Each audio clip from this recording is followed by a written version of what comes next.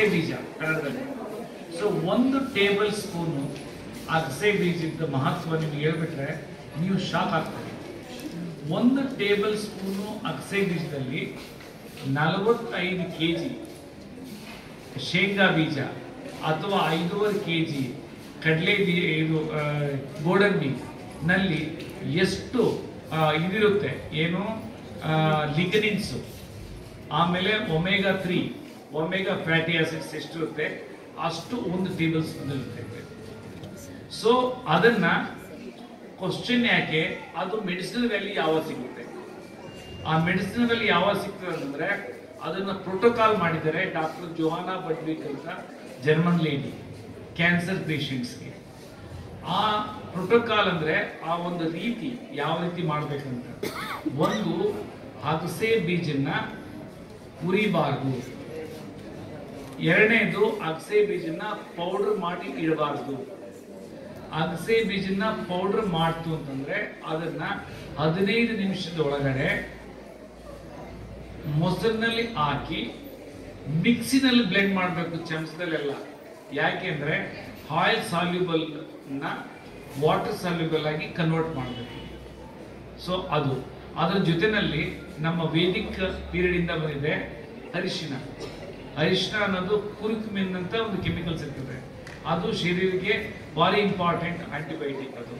ಅದು ಅಕ್ಸೆಪ್ಟೆಡ್ ಅದು. ನಮ್ಮ ಹೊಟ್ಟೆನಲ್ಲಿರೋ ಬ್ಯಾಕ್ಟೀರಿಯಾ ಅದನ್ನ ಅಕ್ಸೆಪ್ಟ್ ಮಾಡಿದೆ. ಅದೇ ರೀತಿನೇ ದಾಲ್ಚಿನ್ನಿ, ಅಂದರೆ ಚಕ್ಕೆ, ಅದನ್ನ ಅಕ್ಸೆಪ್ಟ್ ಆಗಿದೆ. ಆಮೇಲೆ ಮೆಂತ್ಯ ಕಾಳು ಪೌಡ್ರ್ ಅದು. ಇವೆಲ್ಲದನ್ನ ಆ ಮೊಸರಲ್ಲಿ ಹಾಕಿ ಅದನ್ನ ಮಿಕ್ಸ್ ಮಾಡಿದ್ರೆ ಆಮೇಲೆ ಜೀರಿಗೆ ಆಮೇಲೆ ಟೇಸ್ಟ್ಗೆ ಜೀರಿಗೆ ಉಪ್ಪು ಟೇಸ್ಟ್ಗೆ ಇದು ಮೆಡಿಸಿನ್ ವ್ಯಾಲ್ಯೂ ಆ, ಅದನ್ನ ಭಾರಿ ಒಳ್ಳೆ ಕ್ವಶನ್ ಒಂದು ಟೇಬಲ್ ಸ್ಪೂನು ಯಾವುದು? ಅಗಸೆ ಬೀಜದ ಪೌಡರ್ ಬೀಜ ಬೀಜ ಒಂದು ಟೇಬಲ್ ಸ್ಪೂನ್ ಹದಿನೈದು ಗ್ರಾಮ್ ಅಂದ್ರೆ ಅನ್ನ ತಿನ್ನೋ ನಾವು ಸ್ಪೂನು ಹದಿನೈದು ಗ್ರಾಮ್ ಅದಾದ್ರೆ ಟೀ ಮಾಡೋ ಸ್ಪೂನು ಟೀಗೆ ಹಾಕ್ತೀವಲ್ಲ, ಟೀ ಸ್ಪೂನು ಅದು ಏಳುವರೆ ಗ್ರಾಮ್ ಸೊ ಅದರಲ್ಲಿ ಅರ್ಧ ಟೀ ಸ್ಪೂನು ಅರಿಶಿನ ಪೌಡ್ರು ಅರ್ಧ ಟೀ ಸ್ಪೂನು ಮೆಂತ್ಯ ಪೌಡ್ರು ಅರ್ಧ ಟೀ ಸ್ಪೂನು ಚಕ್ಕೆ ಪೌಡ್ರು. ಸೊ ಇದನ್ನ ಮಿಕ್ಸಿನಲ್ಲಿ ಹಾಕಬೇಕು. ಒಂದು ಕಟೋರಿ ನೂರು ಗ್ರಾಮು ದಹಿ ಹಾಕಬೇಕು.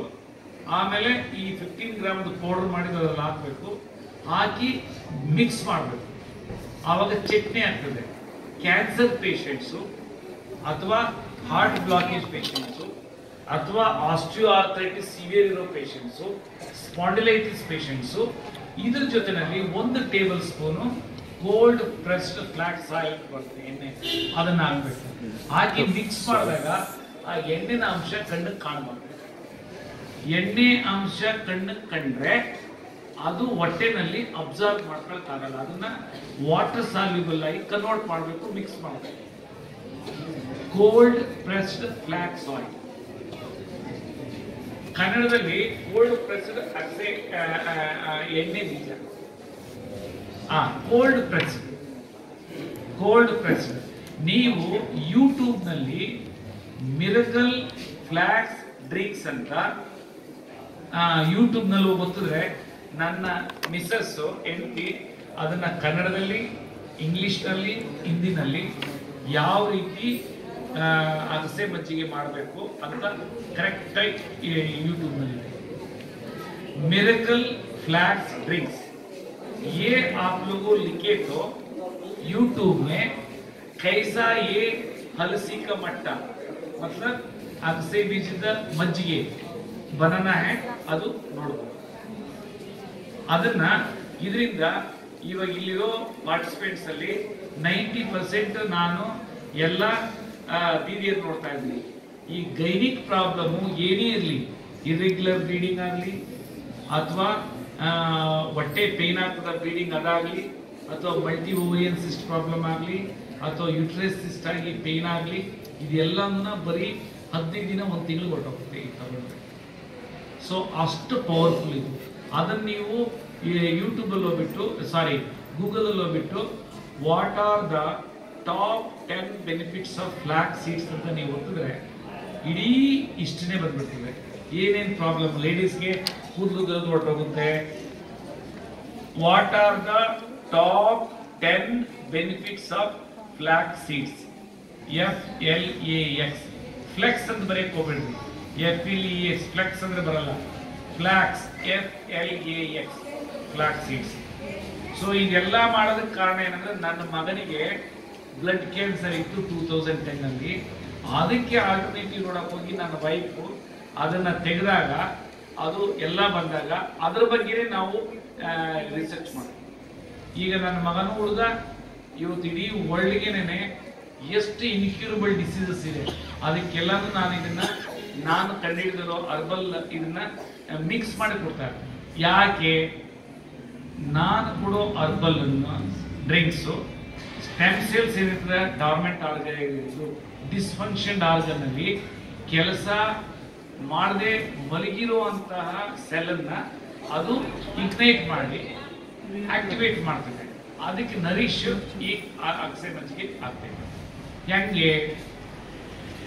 ಅಗಸೆ ಮಜ್ಜಿಗೆನಲ್ಲಿ ಮೂರು ಇಂಪಾರ್ಟೆಂಟ್ ಕಾಂಪೋನೆಂಟ್ಸ್ ಸೋ ಮೆನಿ ಇದೆ ನ್ಯೂಟ್ರಿಯೆಂಟ್ಸ್ ವ್ಯಾಲ್ಯೂ ಮೂರು ಇಂಪಾರ್ಟೆಂಟ್ ಒಂದು ಲಿಗ್ನಿನ್ಸ್ ಇಲ್ಲಿ ಎ- ಸುಮಾರು ಜನ ಐಲಿ ಎಜುಕೇಟೆಡ್ ಇದ್ದೀರಿ ಆಟೋಮೆಟಿಕ್ ಲಿಗ್ನಿನ್ ಅಂದ್ರೆ ನಿಮಗೆ ನೆಟ್ಟಲ್ಲಿ ಸಿಗುತ್ತೆ ಇನ್ನೊಂದು omega three omega six fatty acids ಎಲ್ರಿಗೂ ಏನು ಮಿತ್ತಿದ್ರೆ omega three omega only fish ಅಲ್ಲಿ ಇದೆ ಅಂತ ಇಟ್ಸ್ ಅ ರಾಂಗ್ ಅದು ಈ ಅಗಸೆ ಮಜ್ಜಿಗೆನಲ್ಲಿ ಹೈಯೆಸ್ಟ್ ಕ್ವಾಂಟಿಟಿ ಇದೆ ಎಷ್ಟು ಕ್ವಾಂಟಿಟಿ ಅಂದ್ರೆ ಆಗಲೇ ನಲವತ್ತೈದು ಕೆ ಜಿ ಶೇಂಗಾ ಬೀಜ ಅಂದ್ರೆ मूंगफली खाए तो उतना क्वांटिटी उसमें है सो काम क्या करता है ಅಂದ್ರೆ ಲಿಗನಿನ್ಸು ಬಾಡಿನಲ್ಲಿರೋ ಟಾಕ್ಸಿನ್ ಅನ್ನ ರಿಮೂವ್ ಮಾಡ್ತದೆ ಈಗ ಕ್ಯಾನ್ಸರ್ ಬರೋದಕ್ಕೆ ಕಾರಣ, ಸುಮಾರು ಡಿಸೀಸ್ ಬರೋಕ್ಕೆ ಕಾರಣ, ಇದೆಲ್ಲ ಟಾಕ್ಸಿನ್ಸ್ ಹೆಂಗೆ ಟಾಕ್ಸಿನ್ಸ್ ಥ್ರೂ ಗ್ಲೋಬಲ್ ವಾರ್ಮಿಂಗ್ ಇಂದಾಗಿ ಕೆಮಿಕಲ್ಸ್ ಜಾಸ್ತಿ ನಾವು ಪೆಸ್ಟಿಸೈಡ್ ಯೂಸ್ ಮಾಡೋದ್ರಿಂದಾಗಿ, ಆಮೇಲೆ ಪೊಲ್ಯೂಟೆಡ್ ವಾಟರ್ ಕುಡಿಯೋದ್ರಿಂದಾಗಿ ಮತ್ತೆ ಪೆಸ್ಟಿಸೈಡ್ ಸಪ್ಲೈ ಮಾಡೋದ್ರಿಂದ ಶರೀರದಲ್ಲಿ ಟಾಕ್ಸಿನ್ಸ್ ಬರ್ತಾ ಇರ್ತದೆ ಅದನ್ನ ತೆಗೆಯುವಂತ ಶಕ್ತಿ ಲಿಗ್ನಿನ್ಸ್ ಇದೆ. ಆಮೇಲೆ omega three omega six fatty acid ಆಮೇಲೆ ತೆಗೆದುವುದೇ ಅಲ್ಲ ಸೆಲ್ ಮೆಂಬ್ರೇನ್ ಸ್ಟ್ರಾಂಗ್ ಮಾಡ್ತಾ ಇಲಿಗಿನಿನ್ ಮತ್ತೆ omega three omega six fatty acids ಏನು? ಅದು ಸೆಲ್ಲಲ್ಲಿರೋ ರೆಸ್ಪಿರೇಟರಿ ಸಿಸ್ಟಮ್ನ ರೆಗ್ಯುಲೇಟ್ ಮಾಡ್ತದೆ. ಆಮೇಲೆ ಸೆಲ್ಯುಲರ್ ಮೆಟಬಾಲಿಕ್ ಆಕ್ಟಿವಿಟಿನ ಇಂಪ್ರೂವ್ ಮಾಡ್ತದೆ. ಆ ಸೆಲ್ನ ಇಂಪ್ರೂವ್ ಮಾಡ್ತಿದ್ರೆ ಆರ್ಗನ್ ಆಟೋಮೆಟಿಕ್ಲಿ ಸರಿ ಅದಕ್ಕೆ ನಾನೇನಾದರೂ ಜಾಯಿಂಟ್ಸ್ಗೆ ಏನಾದರೂ ಔಷಧಿ ಕೊಡ್ತಂದ್ರೆ ಅದು ಶುಗರ್ನು ಕಂಟ್ರೋಲ್ ಆಗ್ತದೆ ಶುಗರ್ ಕೊಟ್ಟರೆ ಜಾಯಿಂಟು ಕಂಟ್ರೋಲ್ ಆಗ್ತದೆ ಬ್ಲಡ್ ಪ್ರೆಷರ್ ಇದಾಗ್ತದೆ ಸೊ ಈ ರೀತಿ ಮನೆಯಲ್ಲೇ ಸಿಗೋ ಈ ಅಗಸೆ मज्जिगे मतलब हलसी का मट्टा से कितना स्वास्थ्य का बेनिफिट है ಇದು ನೀವು ಅನುಭವ ಪಟ್ಕೊಳ್ಬೇಕು ಮತ್ತೆ ಸುಮಾರು ಮನಸ್ಸಿನಲ್ಲಿ ಕ್ವಶನ್ ಬರ್ತದೆ ಆ ಕ್ವಶನ್ ಹಾಕೋದು ನೀವು ಬೇಕಾಗಿಲ್ಲ ಯಾಕಂದ್ರೆ ಇದು ಹತ್ತಾರು ವರ್ಷಗಳ ರಿಸರ್ಚ್ ಮಾಡೋದು ನಂಬರ್ ಒನ್ ಆಮೇಲೆ ಸನಾತನ ಕಾಲದಿಂದ ಬಂದಿರೋದನ್ನ ಗಿಡಮೂಲಿಕೆಗೆ ನಾನು ಯೂಸ್ ಮಾಡಬೇಕು. ಅದನ್ನ ನೀವೇನು ಇಲ್ಲ ಯೂಟ್ಯೂಬ್ ಇದು ಗೂಗಲಲ್ಲಿ ಹೋಗ್ಬಿಟ್ಟು ಮಿರಕಲ್ ಡ್ರಿಂಕ್ಸ್ ಡಾಟ್ ಇನ್ ಅಂತ ಎಲ್ಲ ಬಂದ್ಬಿಟ್ಟು ನೀವು ಏನೇನು ಕ್ವಶನ್ ಕೇಳ್ತಿರೋ ಅಲ್ಲೇ ಎಲ್ಲ ಉತ್ತರ. ಆಮೇಲೆ ಇನ್ನೊಂದು ಹೇಳ್ತೀನಿ. ಯಾಕೆಂದ್ರೆ ಆಗಲೇ ಅಣ್ಣವ್ರು ಹೇಳಿದ್ರು ಯಾರಿಗಾನ ಸ್ಪೆಸಿಫಿಕ್ ಪ್ರಾಬ್ಲಮ್ ಇತ್ತು ಅಂತಂದ್ರೆ ಮತ್ತೆ ಡಿಸ್ಕಷನ್ ಮಾಡ್ಬೋದು ಅಂತ. ನಾನು ಓಪನ್ ಆಗಿ ಹೇಳ್ತೀನಿ. ಯಾಕೆಂದ್ರೆ ನಾನು ಆಗಲೇ ಅನುಭವ ಹುಬ್ಳಿನಲ್ಲಿ ತುಂಬಾ ಅನುಭವ ಪಟ್ಟಿದ್ದೀನಿ ನೂರು ನೂರೈವತ್ತು ಪೇಷಂಟ್ಸ್ ಒಂದೊಂದ್ಸರಿ ಬರ್ತಾರೆ. ನಾನು ಸಮಿತ್ ಕರ್ನಾಟಕದವರು ನನಗೆ ಕರೆಸ್ಬಿಟ್ಟು ಇದು ಮಾಡ್ತಾರೆ. ಅದರಲ್ಲಿ ಕ್ಯೂರಿಂಗ್ ಸಿಸ್ಟಮ್ ಇಲ್ಲ ಅಂತಂದ್ರೆ ತಲೆ ಕಿಟ್ಟೋಗ್ತಿತ್ತು ನನಗೂ ಕಿಟ್ಟೋಗ್ತದೆ ಕೇಳೋದು ಯಾಕೆಂದ್ರೆ ಹತ್ತು ಜನ ಒಂದೇ ಸರಿ ಆಯ್ತು ಅಂದ್ರೆ ಒಬ್ಬರಿಗೆ ಹೇಳೋ ಹೊತ್ತಲ್ಲಿ ಇನ್ನೊಬ್ಬರಿಗೆ ಅಂಡರ್ಸ್ಟ್ ಆಗ್ತದೆ. ಇದು ಹ್ಯೂಮನ್ ಸೈಕಾಲಜಿ ಇದು ನಾನು ನಿಮ್ಮ ಸ್ಥಾನ ಇತ್ತು ಅಲ್ಲ ಅದರಿಂದ ಇದು ಕ್ಲಿಯರ್ on, ಕಿಡ್ನಿ ಪೇಷಂಟ್ಸ್ಗೆ ಕ್ಲಿಯರ್ Bhavan. ಆಮೇಲೆ ಒಂದೊಂದು ಒಂದೊಂದು ಐದಾರು ಇದು ಡಿಸೀಸ್ ಬಗ್ಗೆ ನಿಮಗೇನು ಟೈಮ್ ವೇಸ್ಟ್ ಆಗಲ್ಲ ತಾನೆ? ಇನ್ನೊಂದು ಸರಿ. ಕಿಡ್ನಿ ಪೇಷಂಟ್ಸ್ ಫಸ್ಟ್ ಹೇಳ್ತೀನಿ. ಹಾರ್ಟ್ಗೆ ಮತ್ತೆ ಕಿಡ್ನಿಗೆ ಎಣ್ಣೆ ಮತ್ತೆ ಉಪ್ಪು. ಬಾರಿ ಎಣ್ಣೆ ಉಪ್ಪು. ಎಣ್ಣೆ ಅಂದ್ರೆ ತುಪ್ಪನೂ ಉಂಟು ಅದರಲ್ಲಿ ಬೆಣ್ಣೆನೂ ಉಂಟು ಇವೆಲ್ಲನೂ ಆಯಿಲ್ಸ್ ಅಂಡ್ ಫ್ಯಾಟ್ಸ್ ಅಂತ ಸೆಗ್ರಿಗೇಟ್ ಆಗ್ತದೆ. ಇದರಿಂದ ನಾವು ದೂರ ಇರ್ತೀವಿ. ಸೊ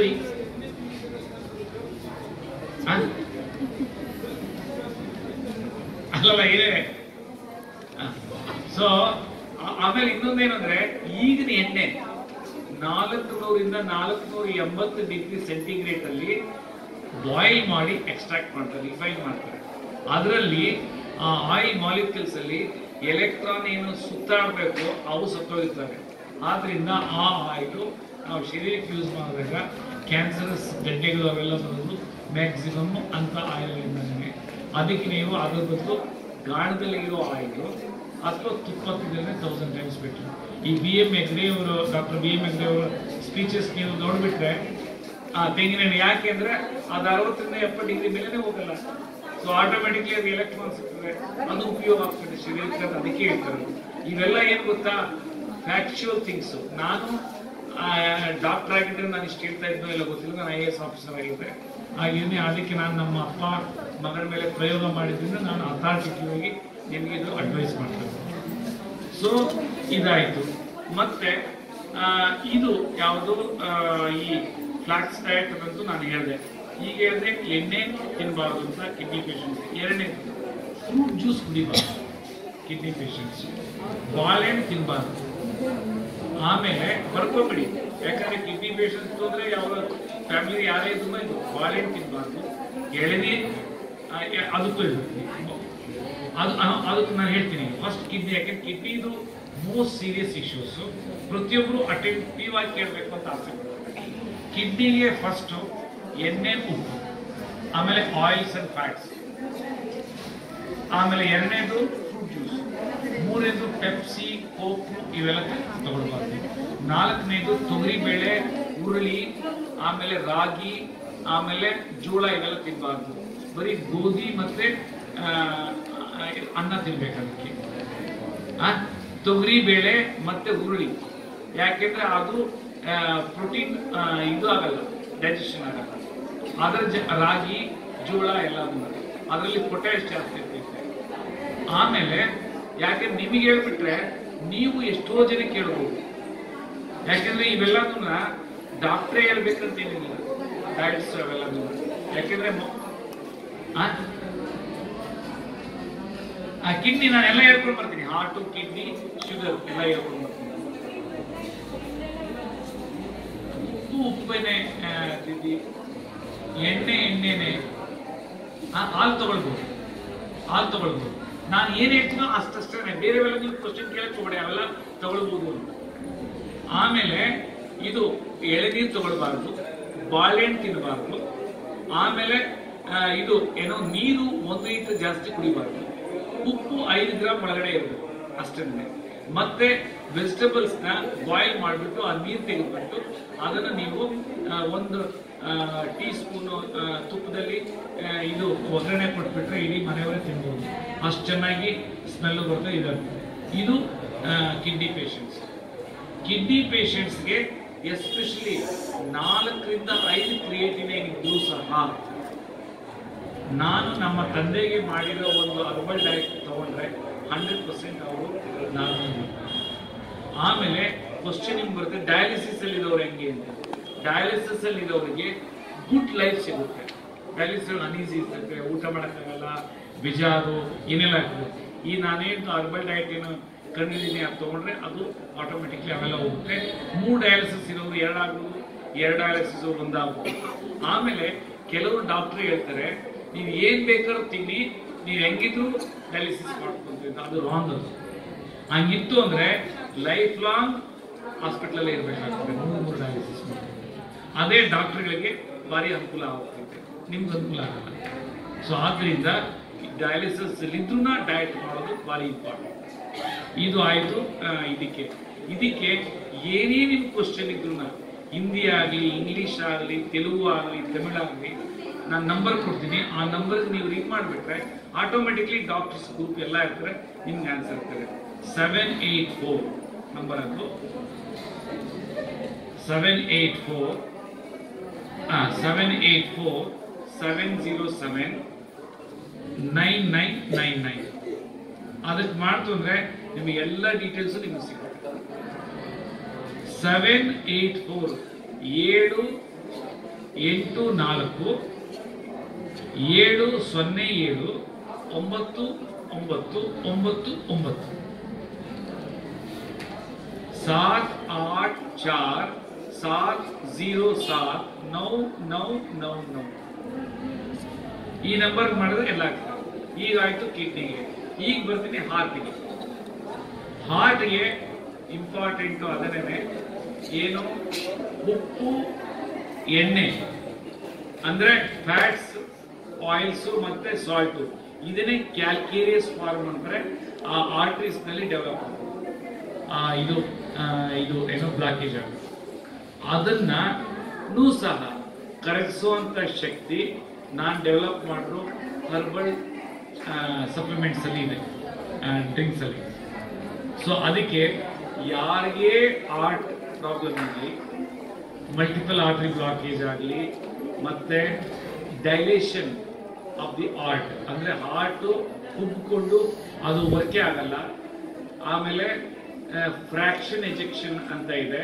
ಅಂದ್ರೆ ಈ ಬ್ಲಡ್ ಏನು ಎಜೆಕ್ಟ್ ಆಗೋಗ್ಬೇಕು ಅದರದ್ದು ಲೆವೆಲ್ ಹದಿನೈದು ಪರ್ಸೆಂಟ್ ಇಪ್ಪತ್ತು ಪರ್ಸೆಂಟ್ ಇದ್ದಾಗ ಮೈ ಕೈನೂ ಆಡ್ಸೋಕ್ಕಾಗಲ್ಲ.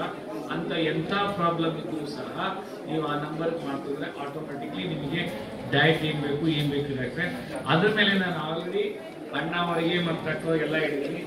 ಈ ನಮ್ಮ ಆ, ಬಾಬಾದ ಸಂಸ್ಥೆನಲ್ಲಿ ಯಾರು ಸೇವೆ ಮಾಡ್ತಾ ಇದ್ದಾರೆ ಅವರಿಗೆ ಯಾವುದೇ ಒಂದು ಕಾಸಿಲ್ಲದೇ ಆ, ನಾನು ಕೊಡ್ತೀನಿ ಅಂತ ನಾನು ಹೇಳ್ತೀನಿ. ಆದ್ರಿಂದ ನೀವೇನು ಚಿಂತೆ ಮಾಡೋದೇನು ಬೇಕಾಗಿಲ್ಲ. ನೀವು ಆರೋಗ್ಯ ಇತ್ತು ನೀವು ನೀವನ್ನ ಒಂದು ಸಾವಿರ ಜನಕ್ಕೆ ಆರೋಗ್ಯ ಕೊಡ್ಬೋದು. ಸೊ ಆದ್ರಿಂದ ಏನು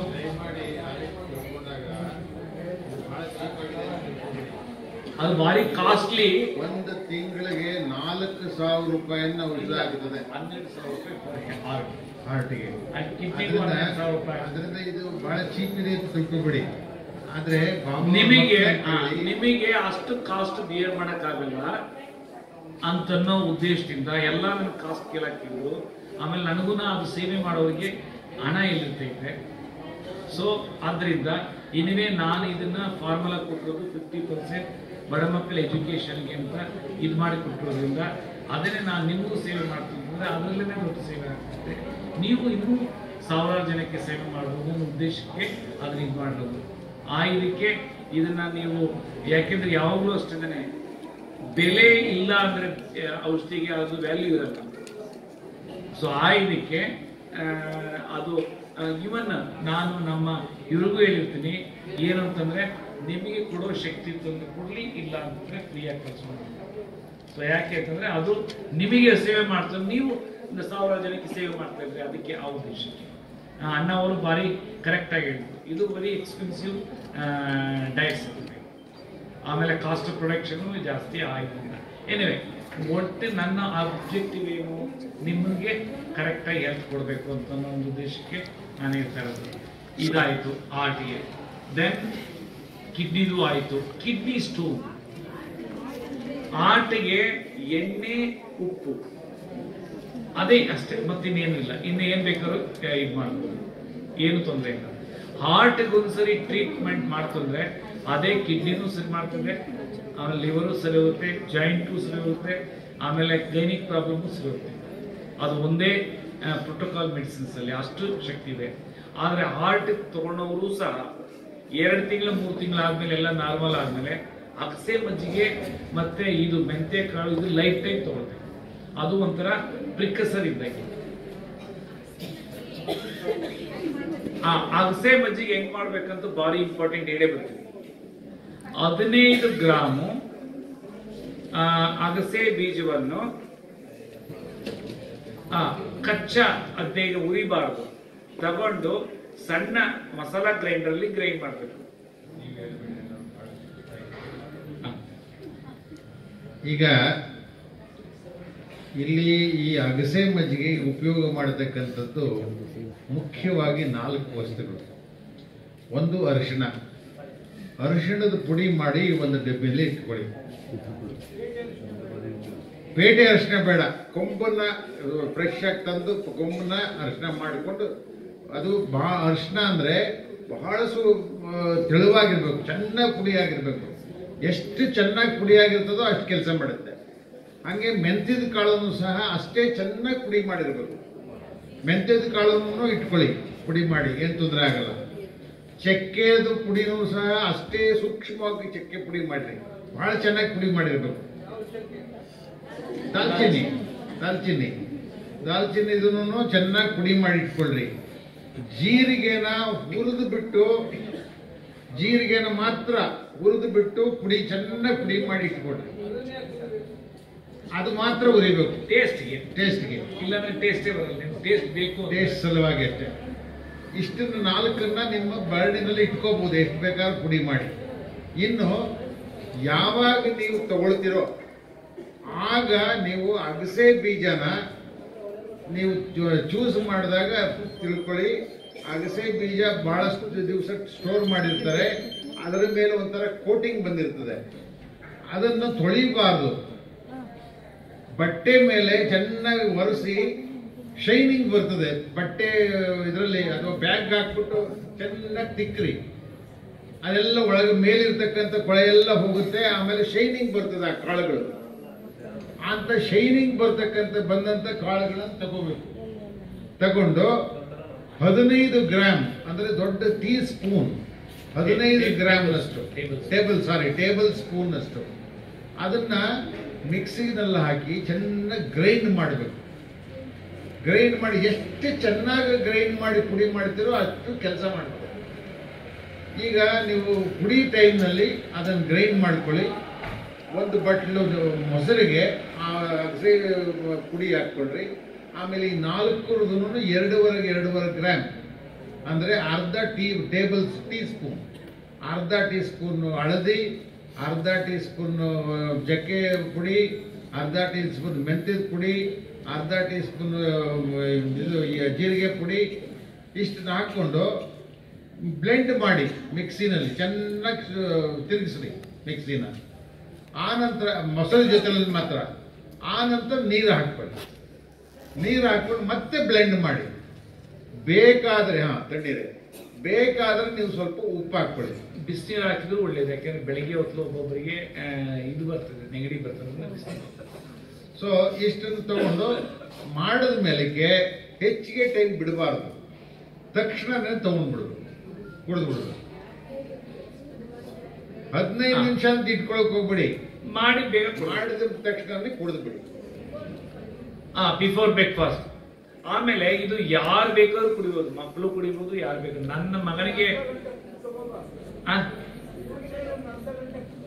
ಏನಿಲ್ಲ, ಐದತ್ತು ನಿಮಿಷ ನಾವು ಯಾವ ಬಾರಿ ಸ್ಟಿಕ್ ಮಾಡಕ್ ಹೋದ್ರೆ ನಮಗೆ ತಲೆ ಕೆಟ್ಟೋಗ್ತೈತೆ ಸೊ ಆದ್ರಿಂದ ಸ್ವಲ್ಪ ಫ್ಲೆಕ್ಸಿಬಿಲಿಟಿ ಇರಬೇಕು. ಒಂದು ಐದು ನಿಮಿಷ, ಹತ್ತು ನಿಮಿಷ ಆದ್ಮೇಲೆ ಸಾಕು. ಏ ಎಲ್ಲ ಕುಡಿಬಹುದು ಏನೇನು ಅದಕ್ಕೂ ಇದಕ್ಕೂ ಇದೆ ಇಲ್ಲ. ಆಮೇಲೆ ಆಮೇಲೆ ಇದು ಡಯಾಬಿಟೀಸ್ಗೂ ಸೂಪರ್ ಫುಡ್ ನೀವು ಟಾಪ್ ಟೆನ್ ಬೆನಿಫಿಟ್ಸ್ ತೊಂದ್ಬಿಟ್ಟೆ ಡಯಾಬಿಟೀಸು ಆರ್ಥ್ರೈಟಿಸು ಹಾರ್ಟು ಆಮೇಲೆ ಕ್ಯಾನ್ಸರು ಆಮೇಲೆ ಗೈನಿಕ್ ಪ್ರಾಬ್ಲಮ್ಸ್ ಏನೇನು ಇರುತ್ತೋ ಎಲ್ಲ, ಇದೆಲ್ಲ ಆಮೇಲೆ ಮುಖ ಶ್ರೇಣಿಗೆ ಕೂದಲು ಉದಕ್ಕೆ ನಿಲ್ಲಿಸೋದಕ್ಕೆ ಪಿಂಪಲ್ಸ್ ಕಾರೋಗೋದಕ್ಕೆ ಎಲ್ಲಕ್ಕೂ ಸಹ ಇದು ಒಳ್ಳೆಯದು ಕೆಲವರಿಗೆ, ಸಾವಿರಕ್ಕೆ ಒಬ್ಬರಿಗೆ ಉಷ್ಣ ಆಗ್ತೈತೆ ಪಿಂಪಲ್ ಬರ್ತದೆ, ಅವ್ರು ತಗೊಳ್ಳೋದು ಬೇಡ ಅಷ್ಟೇ. ಕೆಲವ್ರಿಗೆ ಮಾತ್ರ ಯಾರೋ ಯಾರೋ ಒಬ್ಬ ರೇರೆಸ್ಟ್ ಆಗುತ್ತೆ. ಅಷ್ಟೇ. ಪೀಪಲ್ಸ್ ಬರ್ತದೆ ಅವರಿಗೆ ಸೊ ಅಂತ ಅಷ್ಟೇ ಸೊ ಇದಾಯ್ತು. ಈಗ ನಿರ್ವಹಣೆ ಬಾಯಿಗೆ ಬ್ಲ್ಯಾಕ್ ಸೀಡ್ ಆಗೋದಿಲ್ಲ. ಅಲರ್ಜಿ ಇದೆ.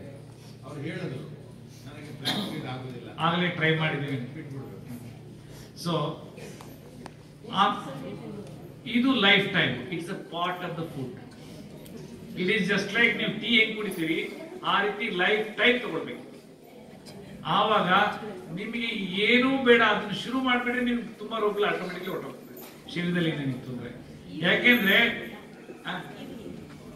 ಈವ್ನಿಂಗು ತಗೊಳ್ಬೋದು ಎರಡು ಸರಿ ತಗೊಳ್ಬೋದು ದಪ್ಪ ಇರೋರು ಎರಡು ಸರಿ ತಗೊಂಡ್ಬಿಟ್ರೆ ಮೂರು ಮೂರು ಕೆಜಿ ಹೊರಟೋಗ್ತಾರೆ ಪ್ರತಿ ಯಾಕಂದ್ರೆ ಊಟ ತಿನ್ನಕ್ಕಾಗಲ್ಲ. ಯಾಕೆಂದ್ರೆ ಅದರಲ್ಲಿ ಅಷ್ಟು ಪ್ರೋಟೀನ್ಸ್ ಇರ್ತದೆ ಅದು ತಗೊಂಡ್ಮೇಲೆ ಹೊಟ್ಟೆ ತುಂಬಿರ್ತದೆ ಹೊಟ್ಟೆ ತುಂಬಿದ ಮೇಲೆ ನಾವು ಅನ್ನೆಸ್ಲಿ ಅನ್ನ, ಚಪಾತಿ ತಿನ್ನಕ್ ಹೋಗಲ್ಲ. ನಮ್ಮ ವೆಯ್ಟ್ ಆಗೋದು ಅನ್ನ ಮತ್ತೆ ರೊಟ್ಟಿಯಿಂದ ಅಥವಾ ಮುದ್ದೆಯಿಂದ. ಅದು ತಪ್ಪು ಕಲ್ಪನೆ ಇದು ತಗೊಂಡ್ರೆ ನಾವು ವೆಯ್ಟ್ ಆಗಲ್ಲ ಅಂತ. ಯಾಕೆಂದ್ರೆ ನಲವತ್ತು ವರ್ಷ ಆದ ತಕ್ಷಣ ಕರಗಲ್ಲ ಶರೀರದಲ್ಲಿ.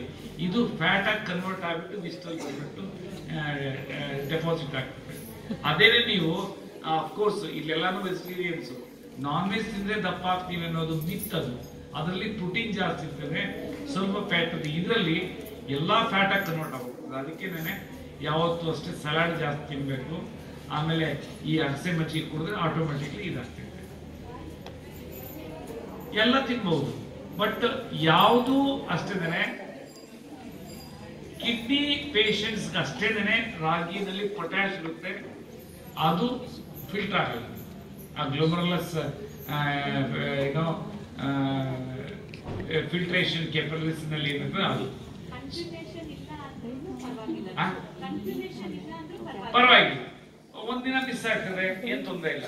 ಬಟ್ ಲೈಫ್ ಸ್ಟೈಲ್ ಅಲ್ಲಿ ಈಗ ನಾನು ಟೂ ತೌಸಂಡ್ ಟೆನ್ನಲ್ಲಿ ನನ್ನ ಮಗನಿಗೆ ಪ್ರಾಬ್ಲಮ್ ಆದಾನಿಕ ನಮ್ಮ ಮನೆಯಲ್ಲಿ ಪ್ರತಿಯೊಬ್ಬರು ತಗೊಳ್ತಾ ಇದ್ದಾರೆ ಯಾಕೆಂದ್ರೆ ಮತ್ತೆ ಅಂತ ಪ್ರಾಬ್ಲಮ್ ಮನೆಯೊಳಗೆ ಬರಬಾರ್ದು ಅಷ್ಟು ಇದು ಇಂಪಾರ್ಟೆಂಟ್ ನೆಕ್ಸ್ಟ್ ನಾವು ಬರೋಣ ಡಯಾಬಿಟಿಸ್ಗೆ ಸೊ ಡಯಾಬಿಟಿಸ್ ಮೆಲೈಟಿಸ್ ಏನಿದೆ? ಶುಗರ್ಗೆ ಅಲೋಪತಿಕ್ ಅಲ್ಲಿ ಒಂದು ಇದಿದೆ, ಏನು ಅಥಾರಿಟೇಟಿವ್ ಆಗಿ ಹೇಳ್ತಾರೆ. ಒಂದು ಸರಿ ಪ್ಯಾಂಕ್ರಿಯಸ್ ಡಿಸ್ಫಂಕ್ಷನ್ ಆಯ್ತು ಅಂದ್ರೆ ಲೈಫ್ ಟೈಮ್ ಅವರು ಇನ್ಸುಲಿನ್ ತಗೊಂಡ್ರೆ ಇನ್ಸುಲಿನ್ ಬೇಕು ಟ್ಯಾಬ್ಲೆಟ್ಸ್ ಟ್ಯಾಬ್ಲೆಟ್ಸ್ ಅಲ್ಲಿ ಇರಬೇಕು ಅಂತ. ಈಗ ನಾನೇನು ಕಂಡುಹಿಡಿದಿದ್ದೀನಿ ಆ ಹರ್ಬಲ್ ಡಯಟ್ ಇಂದ ಲೈಫ್ ಟೈಮು ಅದನ್ನು ನಾವು ದೂರಪಡಿಸ್ಬೋದು ಆದ್ರೆ ಕಂಡೀಷನ್ ಏನಂತಂದ್ರೆ ಇದನ್ನ ಮೂರು ತಿಂಗಳು, ನಾಲ್ಕು ತಿಂಗಳು ತಗೊಂಡ್ಬಿಟ್ಟು ಅದಾದ ನಂತರ ಇದನ್ನ ಬಿಟ್ಟ ಮೇಲೆ ಅಗಸೆ ಮಜ್ಜಿಗೆ ಮತ್ತೆ ನಾನು ಏನು ಹೇಳಿದೆ? ಮೆಂತ್ಯ, ಕಾಳು ಮತ್ತೆ ಅದನ್ನ ಲೈಫ್ ಟೈಮ್ ಕಂಟಿನ್ಯೂ ಆಗಿ ಇಟ್ಕೊಂಡ್ರೆ ಅದು ಮಾತ್ರ ಭಾರಿ ಇಂಪಾರ್ಟೆಂಟ್ ಒಂದು ಸ್ವಲ್ಪ ರೀಗೇನ್ ಆಗೋಯ್ತು ಅಂತಂದ್ರೆ ಪ್ಯಾಂಕ್ರಿಯಸ್ ಮತ್ತೆ ಅದನ್ನ ನಾವು ಹಾಳು ಮಾಡಬಾರ್ದು. ಇದನ್ನ ಅಗಸೆ ಮಜ್ಜಿಗೆ ತಗೊಳ್ತಾ ಇದ್ರೆ ಆಟೋಮೆಟಿಕ್ಲಿ ಅದನ್ನ ರೆಗ್ಯುಲೇಟ್ ಮಾಡಿರ್ತದೆ. ಆಮೇಲೆ ತಗೊಳ್ಳೋ ಹೊತ್ತಿನಲ್ಲಿ ನನ್ನ ಡೆವಲಪ್ ಮಾಡಿರೋ ಒಂದು ಏನಾದ್ರೂ ಸಪ್ಲಿಮೆಂಟ್ ತಗೊಳ್ತೀನಿ ಅಂತ ಹೇಳಿದ್ರೆ ಆ ಟೈಮ್ನಲ್ಲಿ ಯು ಶುಡ್ ಟೇಕ್ ಏನೋ ಅಲೋಪತಿಕ್ ಮೆಡಿಸನ್ ಆಲ್ಸೋ ಜೊತೆದಲ್ಲೇ ಅದನ್ನ ಟೇಪ್ರಿಂಗ್ ಮಾಡ್ಬೇಕು, ಕಡಿಮೆ ಮಾಡ್ಕೊಂಡು ಹೋಗ್ಬೇಕು. ಏನೋ ಒಂದು ವಾರ, ಹದಿನೈದು ದಿನ ಆದ್ಮೇಲೆ. ಇಲ್ಲ ಅಂದ್ರೆ ಐಪೋಗ್ಲಿಸಿನ ಹೋಗ್ಬಿಡ್ತಿರುತ್ತೆ ಶುಗರ್ ಲೆವೆಲ್ಲೇ ಇದಾಗ್ಬಿಡ್ತದೆ ಇಂಬ್ಯಾಲೆನ್ಸ್ ಆಗುತ್ತೆ. ಆ ಥೈರಾಯ್ಡ್ಗೆ ಆ್ಯಂಟಿ ಏಜಿಂಗ್ ಅಂತ ಏನು ಡೆವಲಪ್ ಮಾಡಿದ್ದೀನಿ, ಅದನ್ನು ತಗೊಂಡು ಒಂದು ಹದಿನೈದು ದಿನ ಆದಮೇಲೆ ಥೈರಾಯ್ಡ್ ಮೆಡಿಸಿನ್ ಕಡಿಮೆ ಮಾಡ್ಕೊಂಡು ಹೋಗ್ತಾ ಇತ್ತು ಒಂದು ಟೂ ತ್ರೀ ಮಂತ್ಸಲ್ಲಿ ನಾನು ಆ್ಯಂಟಿ ಏಜಿಂಗ್ ಬಿಟ್ಬಿಟ್ಟು ಬರೀ ಅಗಸೆ ಮಜ್ಜಿಗೆ ಕಂಟಿನ್ಯೂ ಮಾಡ್ತು ಅಂದ್ರೆ ಲೈಫ್ ಟೈಮ್ ಥೈರಾಯ್ಡ್ ತೊಂದರೆ ನಾನು ಏನು ಹೇಳ್ತೀನಿ ಇವೆಲ್ಲನೂ ಇದು ಅನುಭವಗಳು ಮತ್ತೆ ಉಪಯೋಗಿಸ್ಪಟ್ಕೊಂಡಿರೋದ್ರಿಂದ ಗುಣಗಳು ನೋಡ್ಕೊಂಡು ನಾನು ನಿಮಗೆ ಹೇಳ್ತಾ ಆಮೇಲೆ ಆಸ್ಟಿಯೋ ಆರ್ಥೈಟಿಸು ಮತ್ತೆ ರೊಮ್ಯಾಟಿಕ್ ಆರ್ಥೈಟಿಸು ಮತ್ತೆ ಸ್ಪಾಂಡಲೈಟಿಸ್ ಅದಕ್ಕೂ ಸಹ ಇದೆ. ಅದಕ್ಕೂ ಮೂರು ಮೆಡಿಸಿನ್ ತಗೊಳ್ಬೇಕು. ಅದು ಎಲ್ಲಾನು ಆ, ಇದರಲ್ಲಿ ನಂಬರಲ್ಲಿ ಹೇಳ್ಬಿಟ್ರೆ ಆಟೋಮೆಟಿಕ್ಲಿ ನಿಮ್ಗೆಲ್ಲ ಡೀಟೇಲ್ಸ್ ಹೇಳ್ತಾರೆ. ಆಮೇಲೆ ನಿಮ್ಮ ಡಿಸ್ಟ್ರಿಕ್ಟ್ ಹೆಡ್ ಎಸ್ ಹೇಳ್ತಂದ್ರೆ ಅವ್ರ ಹೆಸರಿನಲ್ಲಿ ನಾನು ಕಳಿಸ್ಕೊಡ್ತೀನಿ. ಸೊ ಆಟೋಮೆಟಿಕ್ಲಿ ಅದನ್ನ ನೀವು ಉಪಯೋಗಿಸ್ಕೊಂಡ್ರೆ ಹೆಂಗೆ, ಏನು ಅಂತ ಕ್ಲಿಯರ್ ಆಗಿದೆ.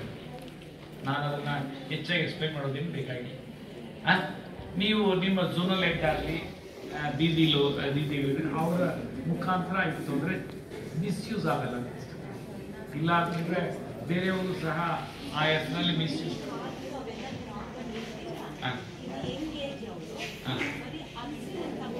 ಹಾ. ಎಸ್ ಇದು ಒಳ್ಳೆ ಕ್ವಶನ್ ಏನೂ ಪ್ರಾಬ್ಲಮ್ ಇಲ್ಲದೆ ಇರೋರು ಮುಂದೆ ಏನು ಪ್ರಾಬ್ಲಮ್ ಬೇಡ ಅನ್ನಂಗಿತ್ತು ಅಂತಂದ್ರೆ ಹಲಸಿದು ಮಟ್ಟ. ಅಂದ್ರೆ ಹಲಸೆ ಬೀಜದ ಮಟ್ಟ.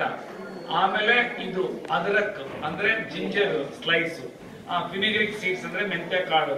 ತಿಂದ್ರೆ ಲೈಫ್ ಅಲ್ಲಿ ಯಾವತ್ತೂ ಸಹ ಹೆಂಗಿದ್ರು ಹಂಗೇನೆ ಲೈಫ್ ಅಲ್ಲಿ ಆಮೇಲೆ ಊಟ, ಇದು ಚರ್ಕ ಸಮೀಕರಣದಲ್ಲಿ ಏನ್ ಹೇಳ್ತದೆ ಅಂತಂದ್ರೆ ನಮ್ಮ ಆಹಾರವೇ ಶರೀರ ಅಂತ. ನಾವ್ ಏನ್ ಆಹಾರ ತಿಂತೀವಿ ಅದೇ ಶರೀರ ಅಂತ. ಆಹಾರ ಮುಂದೆ ಬಂದ್ಮೇಲೆ ನಾವು ಯೋಚನೆ ಮಾಡ್ಬೇಕಂತೆ. ಇದು ನಮಗೆ ಎಷ್ಟು ಲೆವೆಲ್ ವರೆಗೂ ನಾನು ಡೈಜೆಷನ್ ಮಾಡ್ಕೊಬಹುದು ಎಷ್ಟು ಲೆವೆಲ್ ವರೆಗೂ ನಮಗೆ ಕೆಪಾಸಿಟಿ ಅದನ್ನ ಅಂತ, ಅದ್ರ ಪ್ರಕಾರ ನಾವು ತಿನ್ಬೇಕು. ಯಾಕಂದ್ರೆ ಆರನೇ ಪಾಯ್ಸನ್ ಆಗುತ್ತೆ ನಮಗೆ. ಸೊ ಆದ್ರಿಂದ ಅದನ್ನ ನಾವು ಇಟ್ಕೊಂಡ್ಬಿಟ್ರೆ ಇದು ಯಾಕೆಂದ್ರೆ ನಾನು, ನೀವು ನಾನು ಕ್ವಶನ್ ಆಗ್ಬೋದು ನೀವೆಲ್ಲ ಹಂಗ ಮಾಡ್ತೀರಿ ಅಂತ. ಈಗ ನೋಡಿ, ನಾನು ಐವತ್ತೇಳು ಕಂಪ್ಲೀಟ್ ಆಗಿ ಐವತ್ತೇಳುವರೆ. ಇದು ನ್ಯಾಚುರಲಿ ಡೈ ಹಾಕಿಲ್ಲ. ಯಾಕೆಂದ್ರೆ, ಆಮೇಲೆ ಗಾಡ್ಸ್ ಕ್ರೇಸ್ ಇದುವರೆಗೂ ನನಗೆ ಯಾವ ಬ್ಲಡ್ ಪ್ರೆಷರು ಇಲ್ಲ, ಯಾವ ಶುಗರು ಇಲ್ಲ, ಯಾವ ಆರ್ಥೈಟಿಸ್ ಪ್ರಾಬ್ಲಮ್ ಇಲ್ಲ. ಯಾಕೆ, ನಾನು ಎಲ್ಲ ತಿಂತೀನಿ. ಆದರೆ same as a division commissioner ನಾನು ಎಲ್ಲ ಕಡೆ ಹೋದಾಗ ಎಲ್ಲ ಸ್ಪೆಷಲ್ ಸ್ಪೆಷಲ್ ಮಾಡೋದು. ನಾನು ಇನ್ನೊಂದು ತಟ್ಟೆ ತರಿಸ್ತಾ ಇದ್ದೆ ನನಗೆ ಕಷ್ಟಕ್ಕೆ ಕಷ್ಟ ಕೊಡ್ತಾರೆ ಏನು ಸರ್ ನಾವು ಇಷ್ಟೆಲ್ಲ ಕಷ್ಟಪಟ್ಟು ಮಾಡಿ ನಾನು ಅಂತಪ್ಪ, ನನ್ನ ಹೊಟ್ಟೆನ ನಾನು ಡಸ್ಟ್ಬಿನ್ ಮಾಡೋಕ್ಕೆ ಇಷ್ಟ ಯಾಕೆಂದ್ರೆ ನಾವು ಊಟ ವೇಸ್ಟ್ ಆಗ್ತದೆ ಅಂತ ನಮ್ಮ ಹೊಟ್ಟೆಗೆ ಹಾಕ್ಕೊಡ್ತೀವಿ ವೇಸ್ಟ್ ಯಾಕೆ ಮಾಡಬೇಕು? ಮೊದಲೇ ಸ್ವಲ್ಪ ತೊಗೊಳ್ಬೇಕು. ಆದರೆ ವೇಸ್ಟ್ ಆಗ್ತದಂತ ನಾವು ಹೊಟ್ಟೆಗೆ ಹಾಕೊಂಡ್ರೆ ನಮ್ಮ ಹೊಟ್ಟೆ ಅನ್ನೋದು ಒಂಥರ ಟೆಂಪಲ್ ಇದ್ದಂಗೆ. ಆ ಟೆಂಪಲ್ನ ಯಾಕೆ ಗಲೀಜ್ ಮಾಡಬೇಕು? Where there is a clean there is a God ಅನ್ನೋದು ಒಂದು ಹೊಟ್ಟೆನ ಅಷ್ಟು ಸ್ವಚ್ಛವಾಗಿ ಚೆನ್ನಾಗಿ ಇಟ್ಕೊಂಡಿರ್ಬೇಕು. ಆ ಹೊಟ್ಟೆಲಿರೋ ಬ್ಯಾಕ್ಟೀರಿಯಾನ ಚಿಕ್ಕ ಚಿಕ್ಕ ಮಕ್ಕಳಿದ್ದಂಗೆ ಅವನ್ನ ನಾವು ಕರೆಕ್ಟಾಗಿ ಪಾಲನೆ ಮಾಡಬೇಕು. ಆಮೇಲೆ ಶುಗರ್ ಇರೋರು ಶುಗರ್ ಫ್ರೀ ತಗೊಂತಾರೆ ಆ ಶುಗರ್ ಫ್ರೀ ಅನ್ನೋದು ಕೆಮಿಕಲ್ ಅದು. ಅದು ನಮ್ಮ ಹೊಟ್ಟೆಲಿರೋ ಮೈಕ್ರೋಬ್ಸ್ನೆಲ್ಲ ಸಾಯಿಸ್ತೈತೆ ಅದ್ರ ಬದಲು ಬೆಲ್ಲ ತಗೊಳ್ರೆ ಅದು ಶುಗರೇ ತಗೊಳ್ಳೋದು ಬೇಡ. ಹಂಗೇನೆ ಟೀ ಕುಡಿಬೋದಲ್ಲ? ಇವೆಲ್ಲ ಮೈಂಡ್ ಸೆಟ್ ಒಂದು ವಾರ ನೀವು ಪ್ರಾಕ್ಟೀಸ್ ಮಾಡಿಬಿಟ್ರೆ ಆಮೇಲೆ ಶುಗರ್ ಮುಂದೆ ಬಂದು ನಿಮ್ಗೆ ಆ ಶುಗರ್ ಅನ್ನೋದು ಹೊಟ್ಟೆನಲ್ಲಿರೋ ಒಳ್ಳೆ ಕ್ರಿಮಿಗಳನ್ನ ಸಾಯಿಸೋದ್ರಿಂದ ಕ್ಯಾನ್ಸರ್ ಅದರಿಂದ ಬರೋದು ಶುಗರ್ ಪ್ರಾಬ್ಲಮ್ ಅದರಿಂದ ಸುಮಾರು ಪ್ರಾಬ್ಲಮ್ ಶುಗರ್ ಇಂದಲೇ ಆದ್ರಿಂದ ಶುಗರ್ ದೂರ ಇಡೋದು ಎಣ್ಣೆ ಶುಗರ್ನ ಬಹಳ ಒಳ್ಳೆಯದು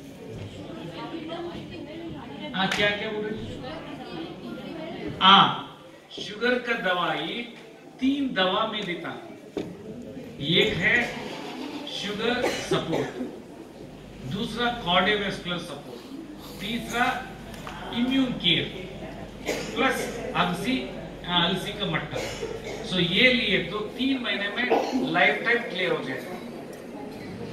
इसके लिए मैं इसलिए मैं कह रहा हूँ, वो नंबर में आप लिंक करें तो ऑटोमेटिकली आपको सारे डिटेल्स बताएगा या वेबसाइट में जा करके सर्च करें तो आता है, क्योंकि नहीं तो रात भर हम लोग लेक्चर देते रहे तो ये नहीं रहे इन प्रिंसिपल्स कोई कंफ्यूजन रहे तो अच्छा रहेगा